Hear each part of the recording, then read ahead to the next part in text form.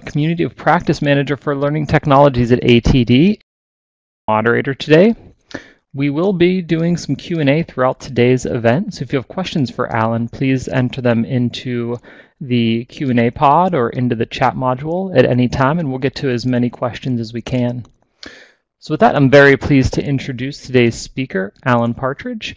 Allen is a senior technology evangelist at Adobe Systems and has 20 years of experience in e-learning, education, games, and multimedia development. For the past decade, he has researched and reported on authentic educational solutions for audiences around the world.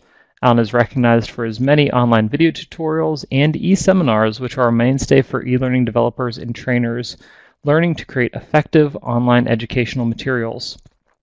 Allen, I'm looking forward to today's webcast. You can take it away. Awesome. Thanks, Justin, and thanks to all of you. Uh, hello and uh, good morning, good afternoon, good evening. Welcome, one and all. Uh, folks gathering rapidly now from all around the planet. It's wonderful to see you all, uh, virtually anyway. Uh, today's session, of course, create mobile ready e learning in minutes with Adobe Captivate. I have a ton of information to go through, uh, so I'm going to go rather rapidly. We will leave the chat pod open today over on the left hand side. I encourage you uh, to ask your questions on the left-hand side if you have questions about uh, the mobile content specifically. Uh, and uh, by all means, feel free to add your thoughts uh, as we go through today's session. I'll start with a kind of a, a quick foundational overview and then move right into more practical advice for creating your mobile content. We'll spend some time looking at Captivate today and actually getting some examples of how to create mobile e-learning content inside of Captivate. So our, our session today will kind of blend the historical, practical, and theoretical. I'll talk a little bit about uh, mobile learning and why it's significant and why you might want to be thinking about mobile learning for your e-learning courses. Uh, and uh, then we'll uh, take a look ahead uh, and get a better understanding of what kinds of things that that will involve. Um, you know, one of the interesting things that we want to keep in mind always as we're thinking about mobile learning is that people naturally are inquisitive. They're naturally uh, uh, drawn toward information and education. And we see that every day in the way that people use their mobile devices. Uh, since the onset of mobile devices, you may have noticed that there's a sort of trend that has become almost obsessive. Uh, it's it's become synonymous to expect that people, whenever they have a spare moment, are drilling through their mobile device. They're keeping their handheld in hand and working with it. Um, recent study found that 65% of workers declared their mobile devices to be their most critical work device, and that continues to rise. 75% of mobile learners praise the convenience and time management benefits of their mobile devices. They like that it makes them free to move uh, about and do their work as they need to. Mobile learners study uh, 40 minutes more each week by studying everywhere they go. Uh, so it adds to their time, to their available time bandwidth, and it makes a big difference. Um, it has a really strong history of success, and as we look at it, it's just continuing. You know, I often say anecdotally that a few years back we sort of thought that uh, e-learning would migrate itself eventually to tablets, but probably not ever migrate onto uh, mobile phones, mobile devices, maybe some performance support on mobile devices, but not really e-learning. And that really hasn't proven to be the case. In fact, tablets continue to decline in popularity. People still tend to sort of use them in the evening at home or uh, use them for specific functions or purposes. A lot of people take them when traveling and use them on devices when they know they're going to be away from uh, a network. Uh, but ultimately, um, they are uh, quickly being supplanted by uh, mobile phones. And so an understanding of uh, that trend is really important. And, and it probably has something to do with the fact that the mobile phone continues to grow larger and larger. Today, there's uh, seven and a half billion people in the world, and a, a half, less than half, are actually internet users. And I think it's important to kind of keep that in context because it goes to the question of whether there are two cultures. Um, that's about three Olympic-sized swimming pools full of M&Ms. So it, just sort of imagine that and, and realize it's a huge, huge audience, but it's also only about half of the people. So um, I think that gives you a little context to understand. Uh, there are 3.69 billion unique mobile users and even more connected mobile devices. That's because most people in uh, first world nations tend to have multiple mobile devices that are connected to the internet. Um, most researchers agree that slightly more than half of all web traffic today uh, is coming from mobile devices. So no longer is it the case that most of the web traffic, internet traffic, is dedicated to desktop and laptop machines. Now, more than half of it is actually being conducted on mobile devices. In a 2014 IDG survey, respondents reported using their tablets. Uh, 82% of respondents reported using their tablets during the evening hours. Um, the the pressure for getting mobile uh, devices and using those mobile devices at, uh, as tools for learning is coming from people. And I bet that it's coming from people just like you. I want you to stop and think for a second. When, when was the last time you did a search on your mobile device and you came up with a web page or a piece of content that just refused to fit on your mobile screen? How did you feel?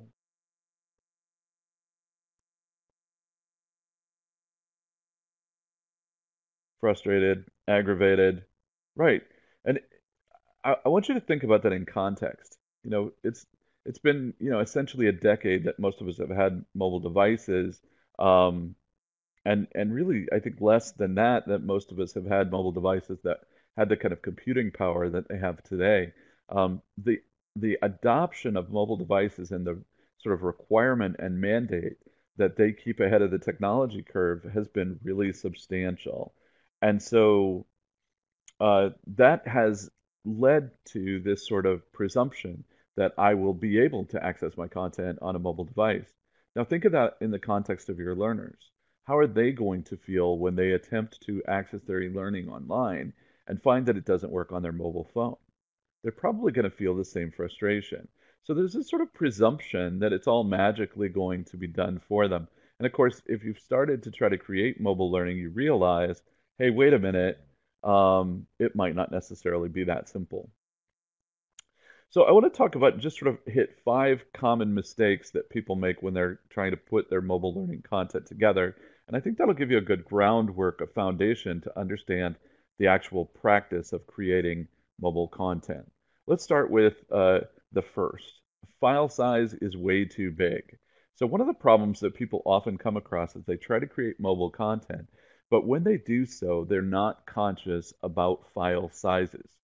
Now, way back in the dark ages, when old guys like me first started to create web content, we used to have all kinds of rules about how big images could be, or how much video we could use, or um, just anything that related to how much data we were sending over the web. And that's because the internet, believe it or not, especially for some of you younger folks, believe it or not, the early days of the internet we're sending signals at somewhere around 28k per second, uh, which, if you imagine today's internet, would just be unbelievably deathly slow. You would just throw your hands in the air and scream, "No, no, no! I cannot do this." Uh, and that was the fastest that it got at that point in the early days.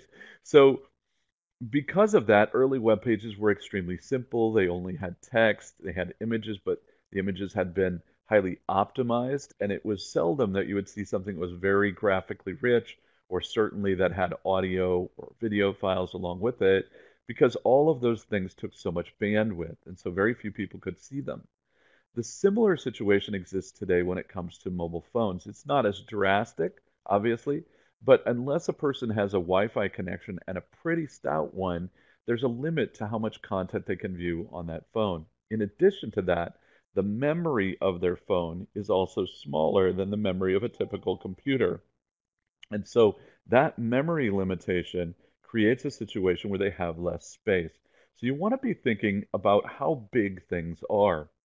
Try avoiding uh, uh, having video or sound that is not optimized. Try to use video and sound that is reduced to the smallest possible sizes so that it can travel over those smaller bandwidths think about image sizes as you're working and try to make sure that images are optimized as you work so that you're not unnecessarily including super large graphics and images. Increase the leaning that you have for shapes. Shapes use a thing called vector graphics. Vector graphics are a great way for you to be able to um, put together content that does not require as much bandwidth to draw. And so things like uh, create just creating a simple background out of a shape instead of turning to a photographic graphic image will save you a ton of space when it comes to the mobile uh, device. And as we go into mobile, you'll find that shapes also stretch and alter their appearance in some cases, and that can be helpful as well. And then finally, think bite-sized content. Think smaller content. Think putting it in chunks. Think using the pages to their full advantage uh, to keep that information small. Another mistake that folks often make is that they don't realize that not all devices are exactly the same. So one thing to keep in mind, obviously, is the devices change orientation. So some are in portrait, vertical format, some are in landscape, horizontal format, some are traditional desktops, and some are much smaller. So that basic notion is what we call responsive. And if you haven't worked with that notion before, it's the notion that because looking at something on your desktop is different than looking at it on your vertical mobile phone, it's important to adjust the size and the shape for that purpose. Now, one of the ways that we can do that, and the way we do it in Captivate today, is with something called breakpoints. A breakpoint is a logical point where we can shift between of one view and another view. And that's in order to respond to the different sizes of different screens and the different orientations of different screens. Um, a lot of people get confused at this step. So there's adapting, which is scaling the content down to fit different devices. And then there's also responsive, which is adjusting the layout of the whole screen based on the realization that you're on a different kind of device.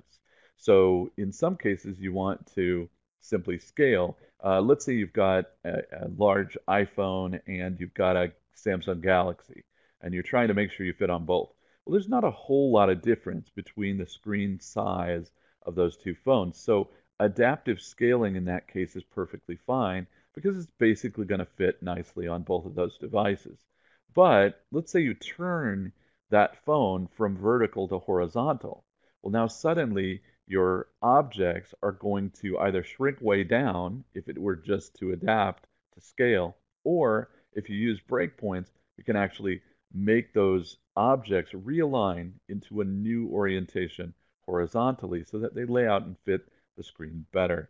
So that understanding of the difference between scaling, adapting, and responsive changes is pretty important as you start to build for mobile devices.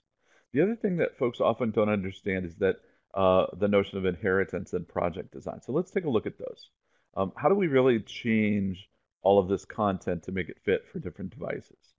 Um, think about it this way, right? We've got uh, tablets, we've got mobile phones, we've got desktops, we've got laptops, and then add to this that we also have horizontal orientation of tablets and horizontal orientation of mobile phones. So we have a bunch of different ways that we're going to perceive the content. So to do that, Captivate introduces a concept called breakpoints.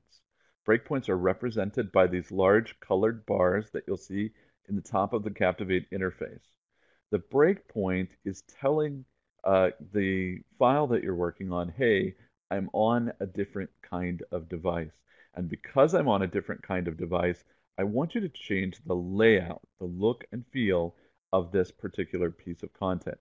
Captivate allows for five breakpoints for different kinds of orientations. Think of them as desktop laptop is one kind of orientation. A tablet horizontally is another. Tablet vertically is another. Mobile phone horizontally is another. And mobile phone vertically is another. So each of those represent different breakpoints. And in a breakpoint, you can completely alter the layout, you can alter what's on the screen, you can alter where the images are, and all that sort of thing. But obviously, you want to save time when you're building that content. So Captivate is also going to automatically take your large view and propagate it down to the smaller views. And we'll look at that here in a second. Um, one thing that I think will be particularly helpful for you as you start to work on your projects is this.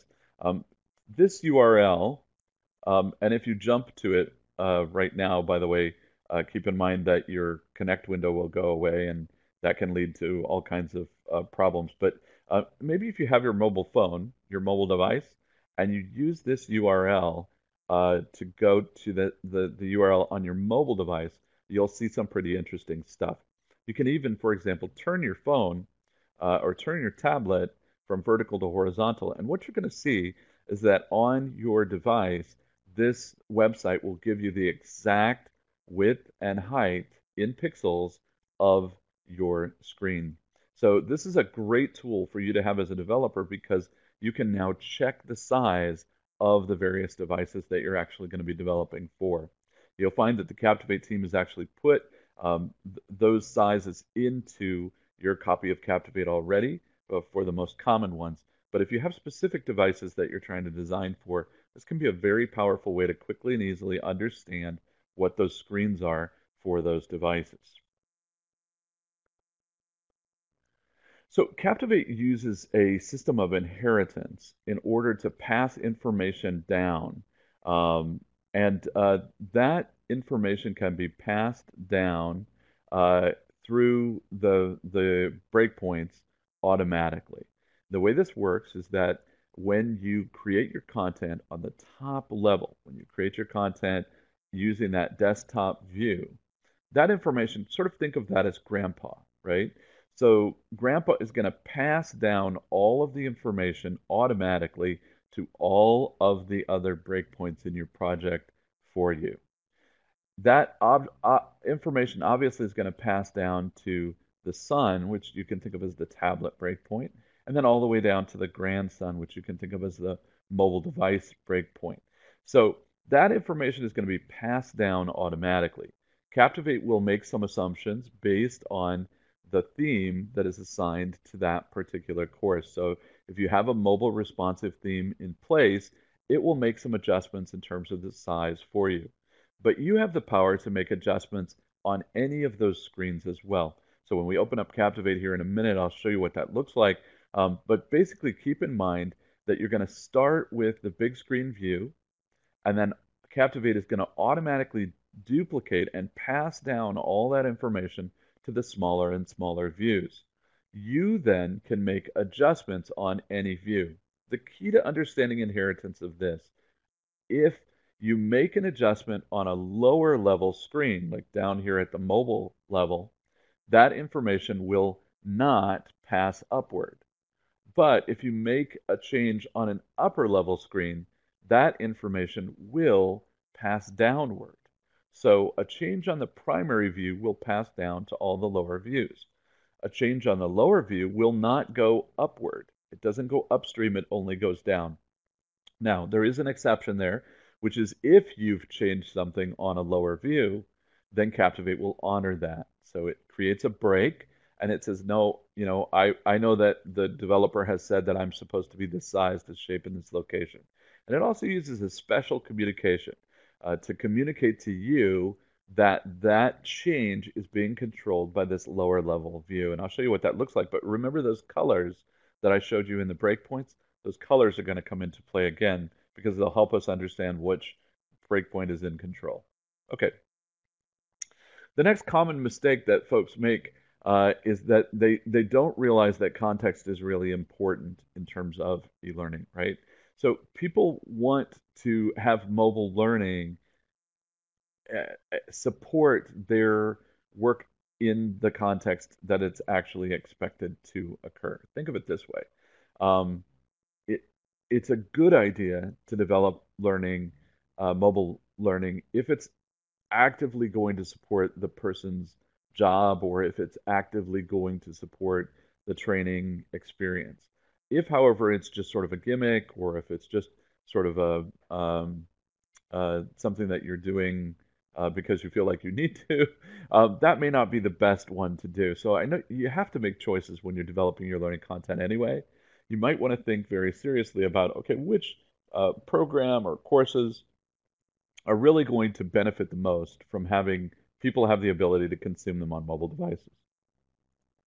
Uh, one thing that you can think about is that does it really let you leverage the environment? Can you walk around with it? Can you use the geo positioning? Um, another is can it facilitate performance support? One of the best ways to use the mobile app packager and actually uh, create things as apps and have people download the apps is in the world of performance support. So obviously for mobile devices, performance support, they kind of go hand in hand. Uh, it's a great place to start thinking about whether you should have some kind of a mobile experience. Um, if the experience is personalized or informal, that's a good argument for making it something that happens on the mobile because it can be consumed in small chunks and it can be something that people really relate to. Um, and it also is a good place if it, it, it's somewhere where you want to facilitate search and repetition. Um, location aware learning is a good example of this. For example, uh, I give the example of you know let's say you've got an insect uh, uh, an insecticide group, uh, a group of uh, people that go around and, and do bug spray and that sort of thing. Uh, so you've got the exterminator going out. Well, um, maybe you've got that exterminator going out to various locations.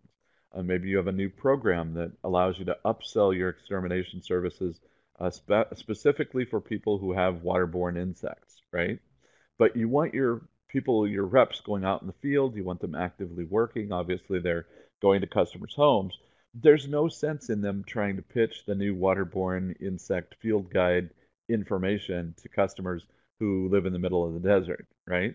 Um, what they really should do is if they approach an area that is near large bodies of water, then they should remember to consider pitching this new waterborne insects field guide.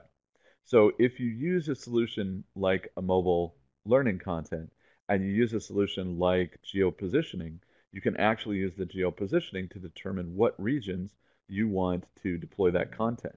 And then you can actively uh, have the content introduce that element when the the uh, exterminator reaches a destination, a location for a sale, um, where there is active uh, uh waterborne insects. So lots of ways that you can use that kind of uh, solution.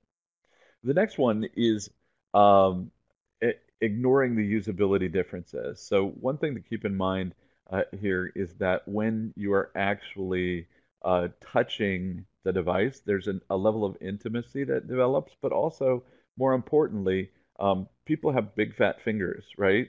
Um, and those fingers are going to make a difference in the way they interact. So you want to be thinking about touch.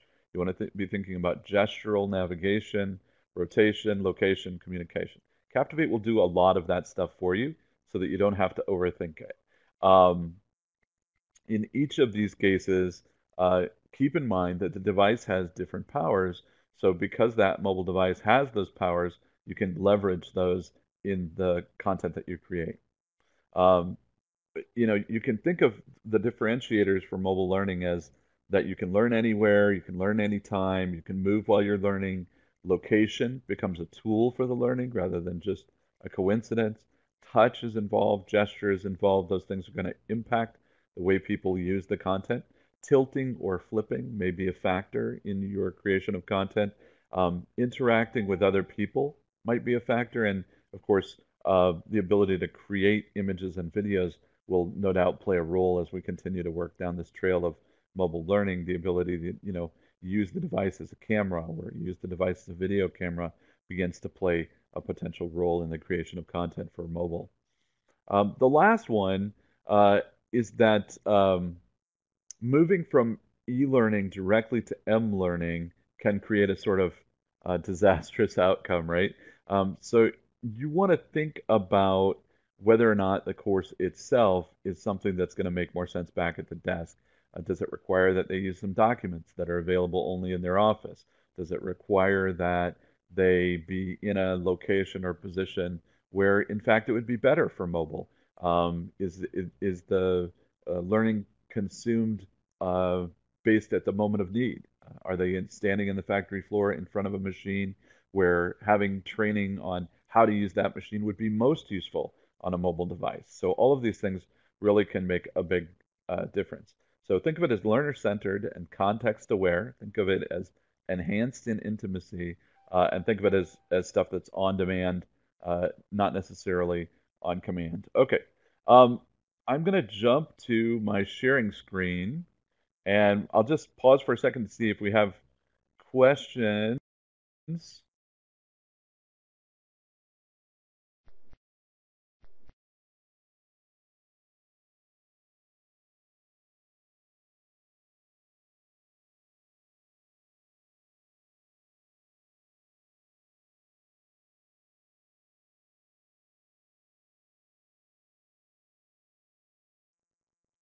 Check one, two. We're back. Holy cow. I changed, sorry about that. I changed views and suddenly, uh, suddenly my microphone went dark and I, and I had to reboot my Connect. So, um, hello everybody, and I'm back and we'll go ahead and share the screen. I see that there's a question there. Does Captivate Project have to be recreated for desktop users and mobile users, or do they use the same file? It's all using the same file. Good question, Matt. Um, and uh, I will go ahead and share my screen. Uh, your questions will continue to come in this pod. Uh, so by all means, and uh, by the way, uh, hello, uh, Lily Berry, Lieve Weymeis is in the in the chat pod, so I see she's answering some of those questions, uh, which is great. Thank you very much, Leva, for doing that. That's always awesome to have you on the on the line, giving us a hand. Um, and I am, oh, see, I've been doing some videos, so I'm in my microscopic view of of Captivate. Um, hopefully, you guys can see this screen. And I just want to do a quick reality check and make sure um, you can increase the size of the pod, which is sharing content inside of Connect. So I'm going to jump back out to Connect for just a second to show you how to do that. At the top of the Connect pod, you're going to see a little kind of four arrow control that four arrow control will actually increase your main pod so that it's larger. I can, of course, force that out to all of you, but you may want to continue chatting in the chat pod. So just remember, if you do go full screen with the sharing area, you'll need to go back up to the top of your screen. A little window shade will come down and you'll see the control to go back down to the smaller view. Okay, so that is the end of your how to use Connect to get full screen uh, mini lesson. And I will jump back uh, into Captivate. Let me um, see here. Uh, I, I always wonder exactly how is that I do that, but I think that's how I do it. Okay, so um, you should now be seeing my Connect. Is everybody seeing my Connect now? Or sorry, seeing Captivate. Everybody seeing Captivate? Yes. Okay, excellent. All right. So um, we're inside of Captivate, and we're actually looking at Captivate and its main interface. We've got a basic default project open, and that default project has a little piece of text that appears in it. For those of you who are new to Captivate, I want you to think of Captivate very much the same way of, as you would think of PowerPoint, right? You're going to have a series of slides, and you can insert those slides using these little drop down arrows on the left hand side. There are different types of slides, like content slides or slides that refer to a theme, uh, like a PowerPoint kind of theme. Uh, they use the same kind of language. They have a master slide, and you can choose from a number of master slides that exist in that particular theme. And of course, you can adjust the, the theme yourself and have it have whatever look and feel you want. Now you're going to notice one difference uh, between Captivate and PowerPoint right away, which is that when I select something, the properties of that something appear over here on the right-hand side instead of appearing uh, at the top as they would in, say, PowerPoint, okay? So um, I'm going to go ahead and, and uh, close that Properties menu just so you can see the screen and point to this first piece at the top. Notice that the lavender color is on the piece that's called desktop. Now these can these breakpoints can represent whatever you want them to represent, and you can adjust them to whatever sizes that you want to adjust them to. But they are measuring the width of your particular project. By default, this is going to be set to 1024 wide. Um, this is a representation of the screen area that the content will actually go out to. this is a typical desktop screen size. Uh, in addition to that, you also have breakpoints for a tablet, which is predefined as a vertical tablet, and for a mobile phone, which is predefined as a mobile phone. Notice that that's the portrait view of the mobile phone and the portrait view of the tablet. Again, adjustments can be made. Just drag the elements on the side to make those the sizes that you need for your particular case. Now you may also want a horizontal tablet. You can do that by clicking the plus sign here to add an additional breakpoint. So you can have that additional breakpoint for the custom tablet view there, and the same thing for the horizontal mobile phone view. And that's how you can actually get all five breakpoints. In many cases, you only want or need three. Keep in mind that as you add breakpoints, you're adding work for yourself. So you may not want necessarily to have all five breakpoints, or you may want to have, uh, you know, uh, all five. Depends on the project that you're creating. So what's really happening here? When I add an object to the screen, I'm actually, whoop, sorry about that. When I add an object to the screen, I'm actually adding that object to all five views of my Captivate project. Okay. Now remember that I mentioned before the ancestry works in such a way that it passes the content downward. That means that this particular piece, anything that I do to it is automatically going to pass that information down to the other views. But Captivate is also aware that the screens are getting smaller, so it's going to also adjust the size of those elements as they get down on smaller and smaller screens. The reality, however, of creating mobile content is that more often than not, you're going to want to eliminate certain pieces of content for certain screen sizes. You're going to want to move pieces of content for different screen sizes. And so in a situation like this, you may in fact want the content to be in a different location.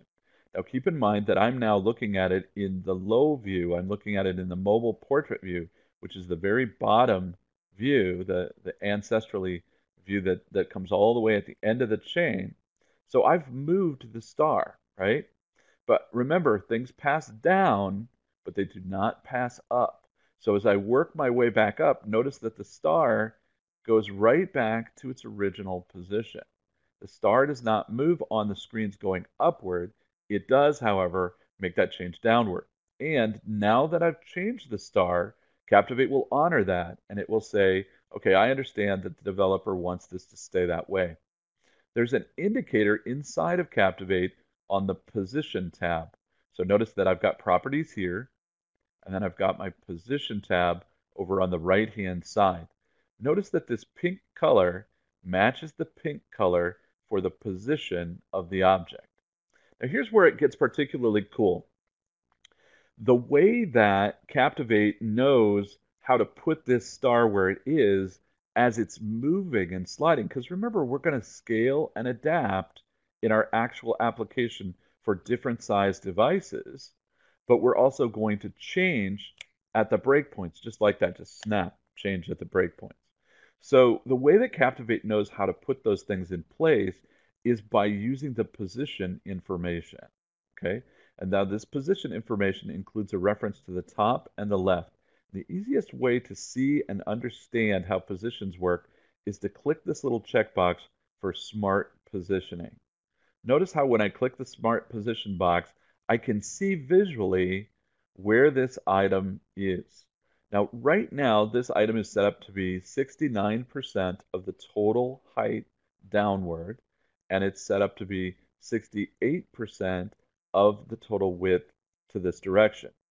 If you really had a star here, you would probably be more interested in saying, keep this star on the bottom of the screen and keep the star on the right-hand side of the screen. So the way that you do that is to simply come over here and say, you know what, instead of anchoring to the top and left, I want to anchor to the bottom and right. I can say here that I want to anchor based on percentage, based on specific pixel count, or based on what we call percent relative, which is going to make an attempt to offset based on a calculation of both of those things.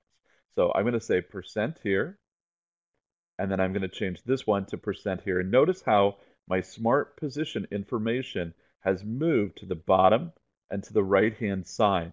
That's now telling me that these objects are going to be glued. They're going to be anchored to the bottom and the right-hand side for this particular case. Now, I want you to notice also that the positioning still hasn't changed for all my other objects because they're at a higher level. Notice that purple is still in command, not the hot pink, right? Purple still in command. Purple will also be in command of all these other views unless I make a change. If I make a change to this view, anybody have guesses as to what's going to happen to my color here if I make a change? Let's see if we've got thoughts. This is that's my Mr. Rogers moment. My my former students would all tell me.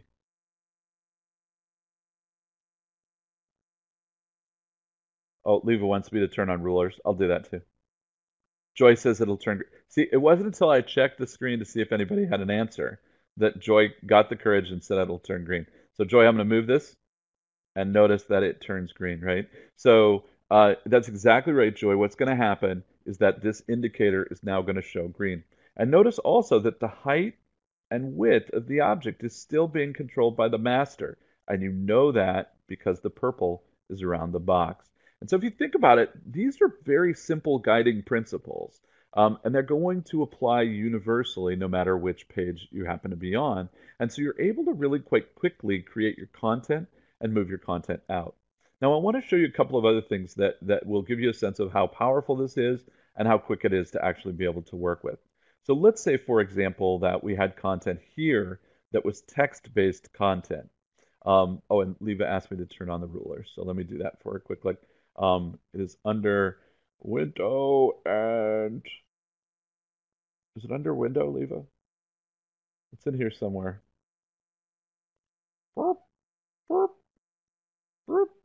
She's telling me in the other window. She's like, Allen, why don't you have your rulers on? Turn on the rulers. View, show rulers. Boom. She's probably saying there's a shortcut. There you go. So the rulers are up.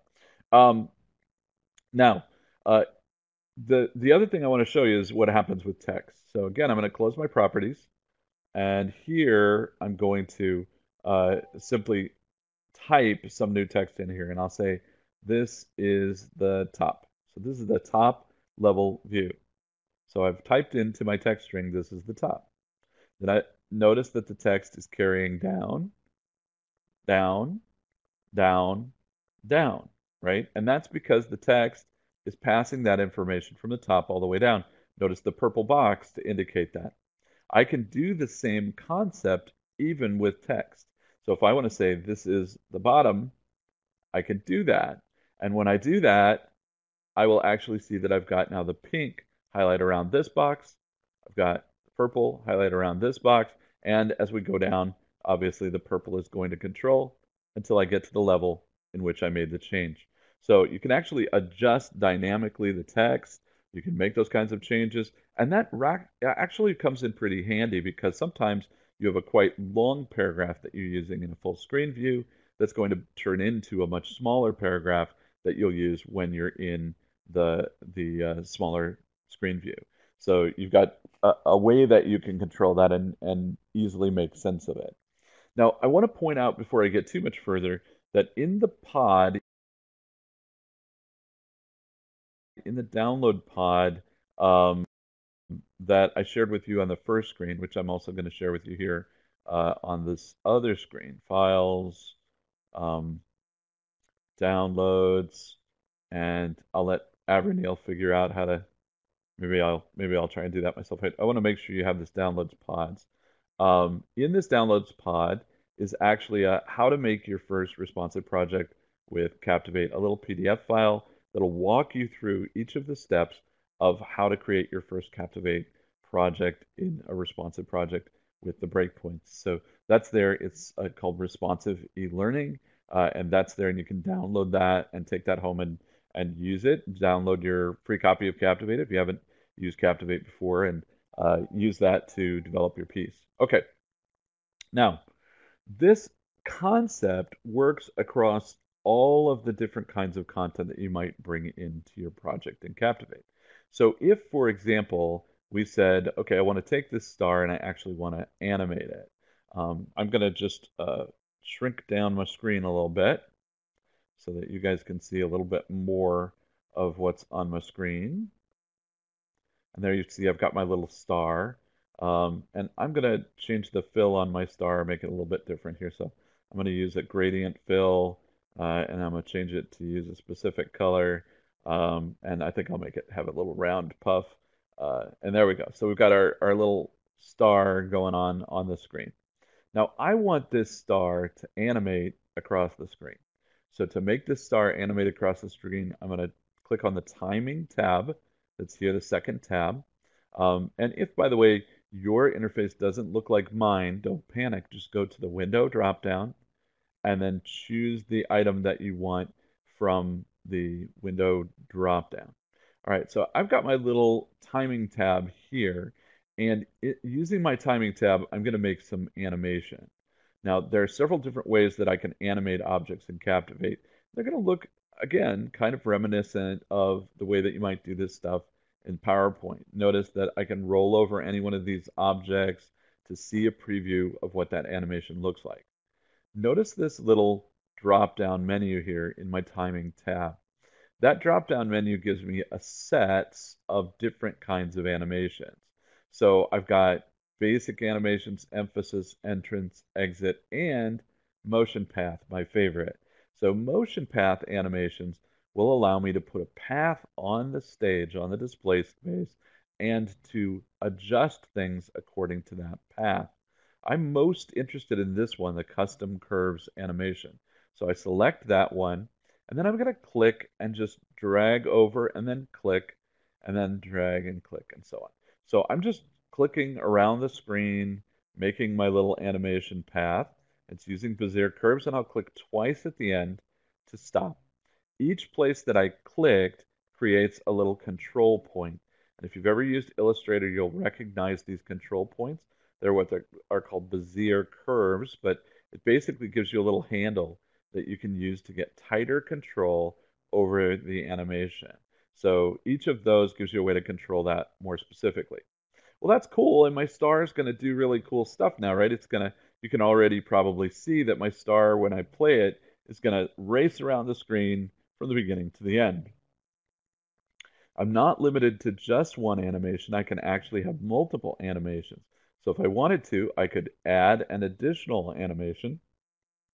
And in my case, I'm going to say, you know what, I actually want an emphasis animation that rotates against the direction. So I'm going to put an anti-clockwise emphasis animation on. Now when I play that back, you'll see that it both rotates the star and moves the star around the project. So I get all of that going on at the same time. Now that's cool, but I want you to think about that in terms of the other devices. Notice that Captivate is automatically sort of shrinking the path, but once we get down to the mobile phone, the path doesn't really look much at all like the path that I had originally. And maybe if I had some text on one side or something like that going on, this path just wouldn't do on the mobile device. So I can actually make the adjustments just as I would for anything else. I can make those adjustments for my mobile device, and those adjustments will also be responsive. In other words, they will not go up to the top either.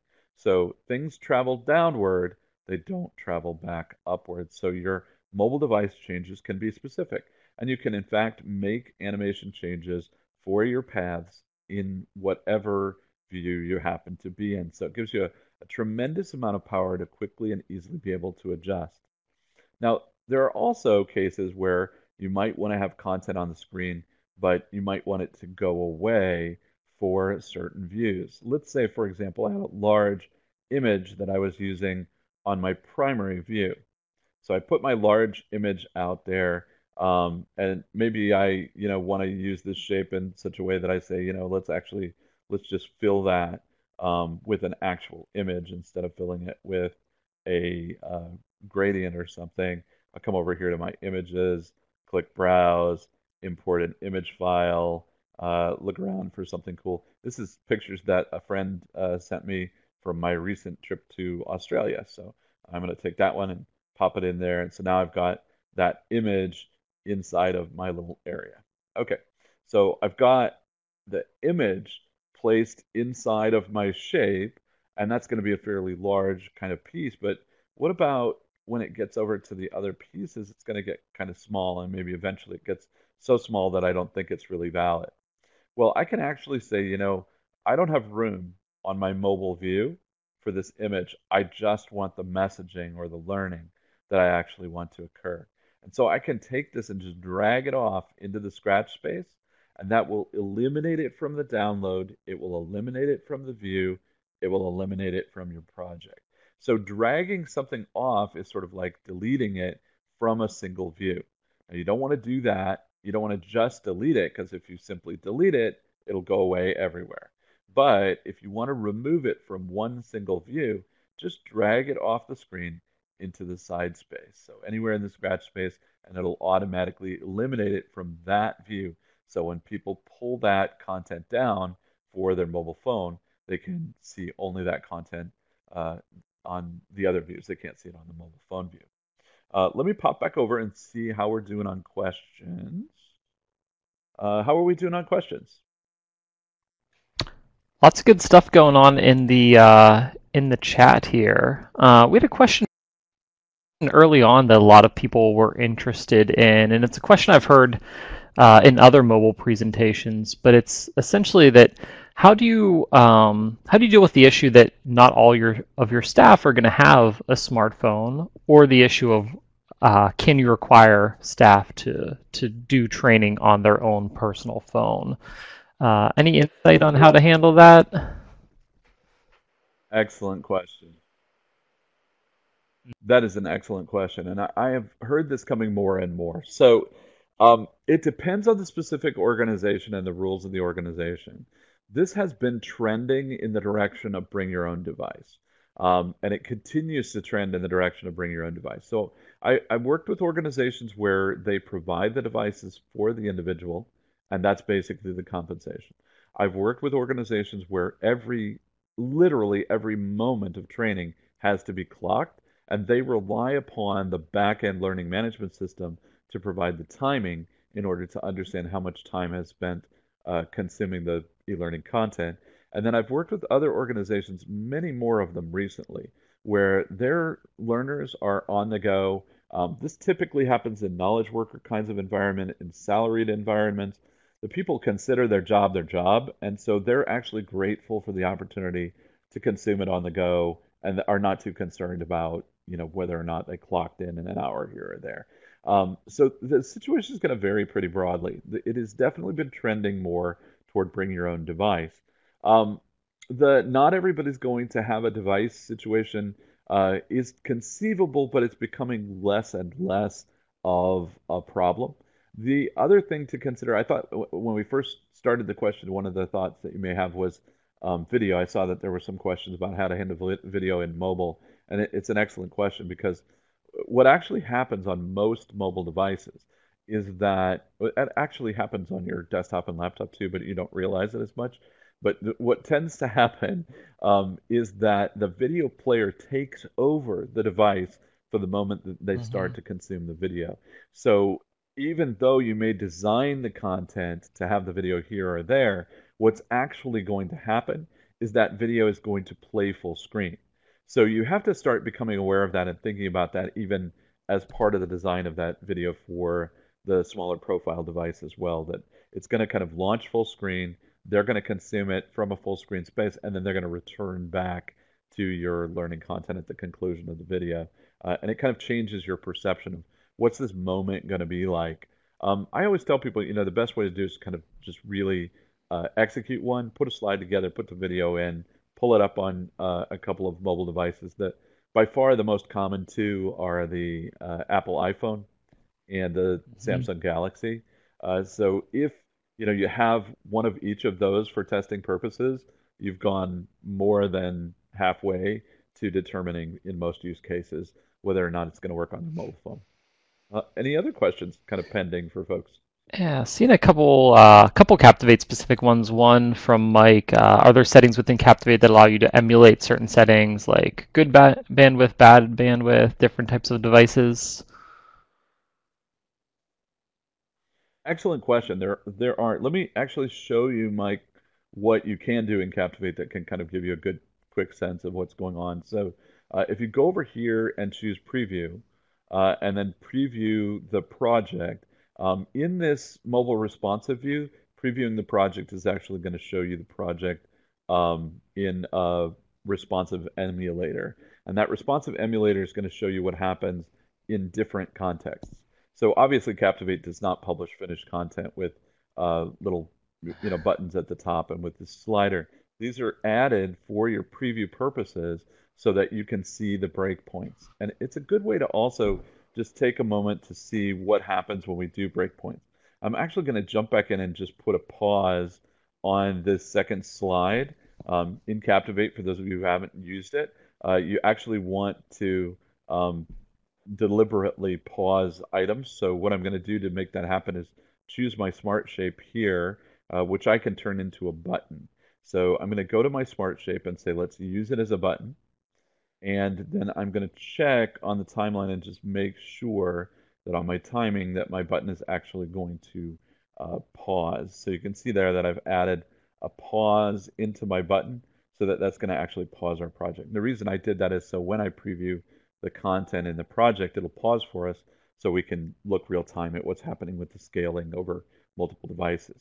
So we've got our little piece of content here, and then that's running our animation. Um, at, as I jump breakpoints, you can see layout differences that we may have made in the different views from the, the breakpoint. But what happens between is one of the things that people often find confusing. So this slider actually lets you see what's going to happen at the moments when the scaling is occurring. So you can see that as I scale to different widths, I'm actually going to get different layouts, right? And as we get to a breakpoint, let's go all the way down to the 415, the 414, uh, you'll see that the, the layout will actually snap for the different breakpoints. You got to go all the way down, down, down, down. There we go. See how it snaps? So the breakpoint is going to snap the layout. And if you have major design differences, you'll see those at the breakpoints. But it'll also scale across the distances between those breakpoints so that you get different layout experiences. And that's where a lot of the, the kind of joy and, and uh, sorrow comes in building mobile responsive projects is that you, you kind of find yourself in the business of anticipating what's going to go right, what's going to go wrong, what's going to happen with the scale, all of that kind of stuff. There were a few other um, ones. I know we're getting close questions? to uh, to the top of the hour, so I want to make sure that you're able to get through the rest of the stuff that uh, that you have. Um, but there was a, a good question on uh, uh, on accessibility in Captivate. Um, can you speak to that a little bit?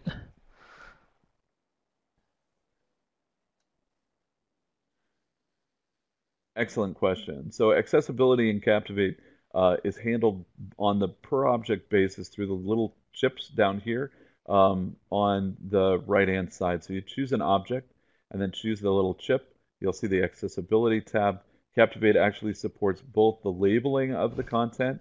By the way, don't auto label if you're making accessible content. Actually put the name and the description in um, because the auto labels have weird numbers and indices and things like that. It will not help someone who's you know needing that to be read for them. And then in addition to that, Captivate also supports the um, the ability to uh, to um, uh, control the tab order. So for those of you who do a lot of accessibility, choose the slide. I, you'll notice I went out to the scratch space so that I choose the whole slide, not one object. Then come over to the same panel, choose tab order, and there you can actually control the tab order for interactive objects. Okay, so let me do, I want to do just uh, one more quick uh, example of, of the kinds of things that you can do in the mobile responsive, just to kind of give you that one last parting thought. Um, and uh, let's just do it with uh, question slides. So um, question slides feed in Captivate based on the theme or template that you're referring to. And so when you set up your content in, in Captivate for mobile responsive, you want to make sure that you're using a theme which has the mobile responsive questions built in. But once you do, then Captivate will actually automatically handle that content for you. Other than that, all you have to do uh, is go in and obviously type your questions and your answers. So it's a great way to be able to very quickly develop your quiz content. Um, one of my favorite aspects, of, cor- of course, with the whole uh, question slides and Captivate is that you can always go back in, create more, you can drop those in, you can move them around. Uh, you don't have to leave them in the same order. You can change the graphical appearance, change the content, all of that kind of stuff. So um, certainly there's a lot to um, encounter, but there's also a lot of magic there. Uh, the other thing I wanted to mention while we were doing the animation is just uh, if you haven't used the new animation in Captivate before, you may not realize that we've changed it substantially. Um, you now, of course, can have the preview on the timing tab, but you also can see through this little drop down toggle on the timeline, you can actually see the timing of the animation and make adjustments to it there. So if you want to adjust when the, the uh, animation begins or how long it plays, uh, all of those kind of things can be done through this little drop down tab for the animation. Um, so those are the, the kind of big level uh, elements of mobile responsive. One other thing to be aware of uh, is that when you get ready to publish your content out, you can publish that content out for devices. That means that you're publishing it out as HTML5. That HTML5 is then loaded into any web present location and it will play the content back autom- automatically. It will detect what device it's on. So you don't have to publish five different times for five different views. You just publish once, and then when a person accesses it from a mobile phone, it delivers the mobile phone view. When a person accesses from a tablet, it delivers the tablet view, and so on. Um, it also is possible to publish for an app using our published app solution. So, of course, Adobe has one of the preeminent solutions for publishing and packaging apps. This converts your HTML5 project into a mobile app for iPhone or for Android or for WebOS and so on. Uh, so you just use this option if you want to make it into a mobile app. Generally speaking, I recommend to people if you want it to be a mobile app, it should probably be something like performance support. People get really irritated if they have to download individual courses onto their device and then it never goes away, right? They they they tend to not delete them. And so they feel like that's loading up their device. But if it's performance support, they're using that all the time. So performance support apps made for each other, courses apps, nah, not so much, right? Um, you can also obviously publish to Adobe Connect, and now you can publish directly to Adobe Captivate Prime. If you haven't checked out Adobe Captivate Prime, I encourage you to do so. An amazing full feature LMS from Adobe, uh, and a great way to do it. While we're on the topic of LMS, just one last thought about LMSs. Many LMSs do not support responsive output. So I know I hear from people all the time, they finished their project, they got it all responsive, it was all awesome. It worked on their internal servers, it worked on their website, they put it in their LMS and pfft, it just disappeared. It's the LMS. So your LMS must support responsive content if you want it to continue to be responsive content when they actually consume it. So it's one one more factor to be aware of when you're thinking about your learning management system. Um, if your learning management system is older, it may just pop a fixed window JavaScript and it will refuse to adjust the size, and of course that that ruins all of your hard work on the on the responsive. So uh, that one last feature to to be aware of. Um, cool. Uh, any last questions? I yeah, there was a a good question, and that was already answered in the chat, but I think it's worth kind of uh, just mentioning here. Question about what's one of the advantages to publishing as an app, and it seems like when you publish as an app, you're actually downloading that to your phone. So if you're out in the field or don't have connection to Wi-Fi, then you're able to access that content. Exactly, Justin. That's totally the advantage. It can be offline. Uh, think of you know work checklists or um, things that you want people to have quick access to, videos or support documents that they might need when they're away from a network. All of those things can be packaged up in an HTML5 app. Uh, you, they don't mm-hmm. even need the, the web to be able to consume that content and view it. So Um, that's that's exactly what Yeah. you want to Well, we are just about to the top of the hour. Can we uh, remind everyone um, where they can download the presentation? And this was recorded, so everyone will receive a link to this, right, Allen?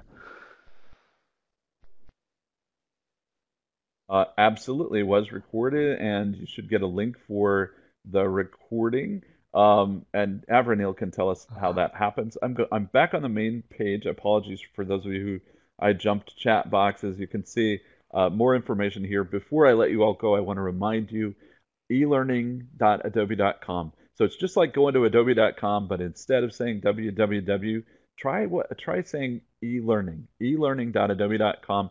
Now over 30,000 members with active blogs every single day. People are posting awesome articles.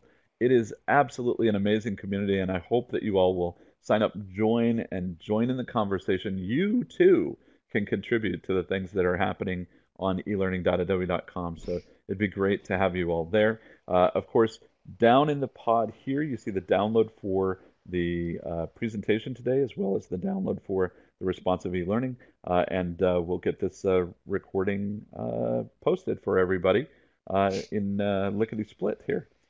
you'll notice also the recorded webinars and the upcoming webinars are links in the link pod. Cool. Yeah. Bottom of the page. Thanks. And Allen, I just want to say I know Adobe is going to be at our international conference in Exposition next month. Are you going to be there as well? Um, oh, sorry, I put you on the spot. New Orleans?